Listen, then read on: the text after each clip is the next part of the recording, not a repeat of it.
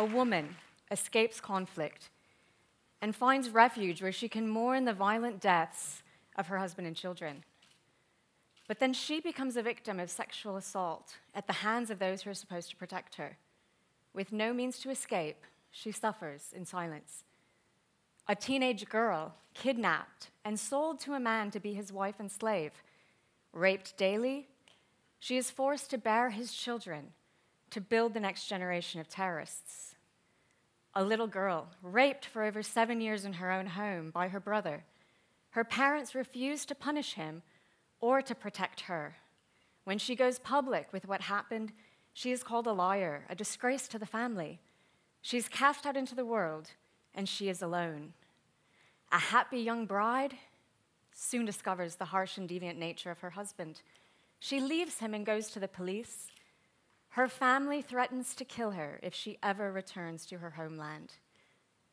All of these stories are about women who are alive today women from Syria, Nigeria, Iran, and the United States. All of these women had the courage to tell their stories and bring attention to an outrage that reaches every corner of the globe, including this corner, because one of those stories is mine. As far back as ancient history, women have been the victims of gender based violence. And make no mistake, it is still true today. It is a crisis so extreme so widespread that the United Nations has declared this it is more dangerous to be a woman fetching water, collecting firewood, than a male fighter on the front lines. That's right. War does not just mean two nations fighting against another on a battlefield. War is everywhere. It occurs in our daily lives, in our family relationships, in our neighborhoods, and in our homes. And no matter where the battlefield is, women are weapons of war. And today, it is time to disarm. I can pinpoint the exact moment this became my cause. In 2005, as a human rights lawyer, I was representing three young brothers from Honduras in asylum proceedings. One night, I was sitting in the office with their mother, Rosa, to prepare her to testify. She grew quiet, her smile faded, her hands clasped nervously in her lap. She slowly lifted her head, her eyes meeting mine, and said, I'm going to tell you something I've never told anyone. Rosa's husband was a military police officer. He'd bring his fellow soldiers and officers home to rape her. The men viewed this as their right, their honor. One brave night, Rosa tried to escape. Her husband and his comrades shot at her.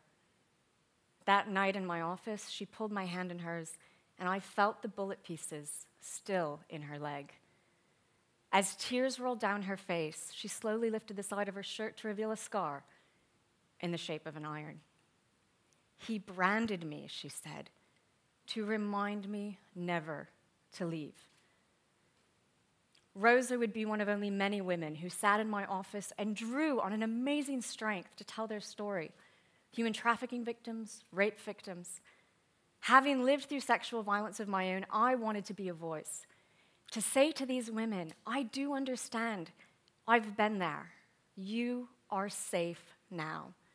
And then fight to get them the freedom and safety and healing that they deserved. But I also knew the work went beyond representing one woman at a time. This is a global crisis, but solutions exist. And ending the crisis requires evolution of our thoughts and our actions in our daily lives. But to do it, we have to all understand the nature and depth of the problem. Rwanda, 250,000 women raped in a three month time period during the 1994 genocide. Democratic Republic of Congo, in 2011, 48 women were raped every hour. That's almost one per minute. America, every two minutes, a person is sexually assaulted. England, 85,000 women are raped every year, but only 15% report it to the police. France. Every 40 minutes, a rape is reported. That is horrific enough on its own. Even worse, 9 out of 10 rapes in France are not reported at all. As terrible as these facts are, hope remains. For the last 75 years, the world has slowly progressed towards addressing this crisis. The Nuremberg Tribunal, following World War II, was the first to address sexual violence against women. But it then took 40 years for rape to be defined as a crime against humanity, and another eight years after that for the first conviction. Society simply did not deem sexual violence to be a priority or a crime that needed punishment. But finally, in 2008, the United Nations Security Council unanimously voted for a resolution that described rape as a threat to international security. Ten years later, significant atrocities remain. Modern wars are increasingly characterized by the use of rape to terrorize populations and destroy communities. The first order of business is usually to deprive women of access to education and health services restricting their participation in economic and political life. In other conflicts, women are deliberately infected with sexually transmitted diseases to render them unable to bear children or as a biological weapon to infect others. This is ethnic cleansing.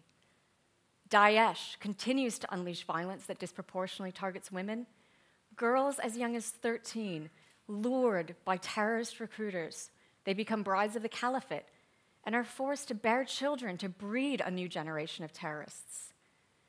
3,000 Yazidi women and girls from Iraq, enslaved, sexually abused, and traded like chattel in the human trafficking underworld to fund terrorist attacks. But the problem goes far beyond using women as a means to fund war. Boko Haram has turned women into actual weapons by deploying young innocent girls as suicide bombers. The estimates are that the number of girls used in suicide bombing attacks per year has skyrocketed from four to 44. UNICEF says three out of four child bombers are girls. But the reason many women and girls give to become suicide bombers is not what you might think. Picture a refugee camp in Cameroon crowded tents, malnourished bodies, hopelessness. As one young woman tells it, the question was always the same so too is the answer. The men would ask, Who wants to be a suicide bomber? And the girls would shout, Me, me, me. But it was not because these young girls had embraced violent jihad or been brainwashed by their captors. Hundreds of girls kidnapped by Boko Haram and forced to marry its fighters. They face death unless they succumb to this fate. Many are teenagers, some not even 10 years old. The trauma from the sexual abuse becomes too much for them to bear. They want an escape, and that escape is death. As a result, we have the greatest and most tragic irony. The most vulnerable population in Nigeria is now becoming the most feared. Girls are ostracized by their communities, some out of fear that they've become a terrorist, others simply because of archaic beliefs that the girl is no longer clean or fit to be a part of society.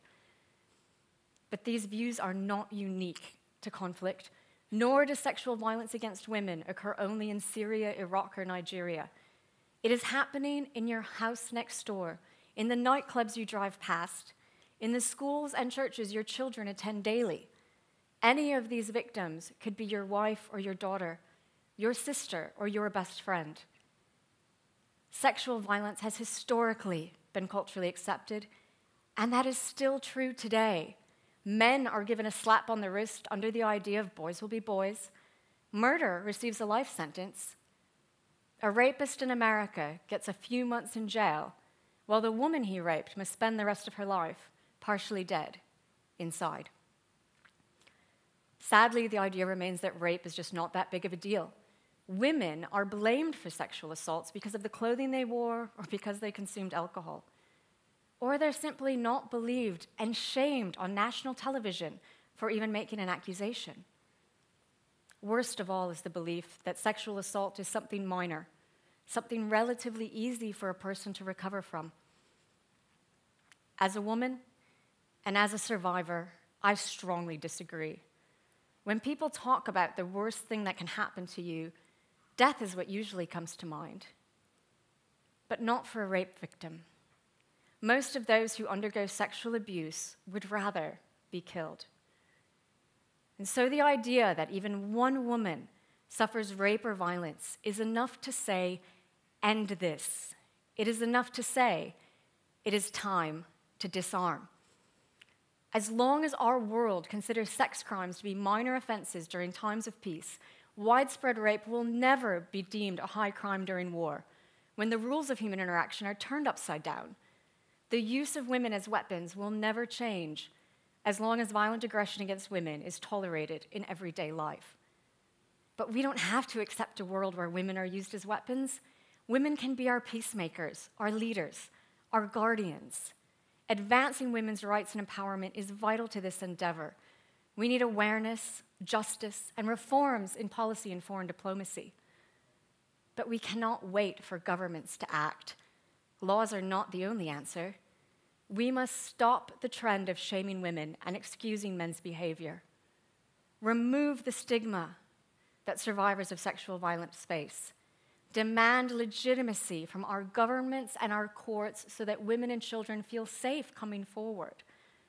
But we also have to create new families and support systems for survivors to give them the love and compassion needed to help them heal.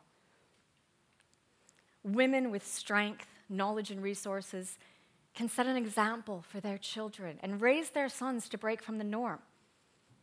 But men have to set an example through your actions and through your words. So, what can you do? Can one person affect change? Absolutely yes. I've seen it with my own eyes. People like Hadia, a Syrian refugee who rose from her own trauma and now helps female refugees who have been raped. And as for you, volunteer at a local shelter and open your life to women in need. Educate your children and set an example. Donate to an organization providing survivor services. And all of you can ask your governments to promote women's equality. Today, I challenge all of you to post on social media about a statistic you heard today that shocked you. Because one out of three women worldwide will experience sexual violence in her lifetime. Join us, support us, and send a message to the world that the next generation will not bear the pain of this statistic. I would not be standing before you today without the help and love of all those who believed in me when I came forward. You can help the girls of today become the guardians of tomorrow. In their name, and in the name of all girls who live in danger, it is time to tell the world women are not weapons of war. It is time to disarm. Thank you.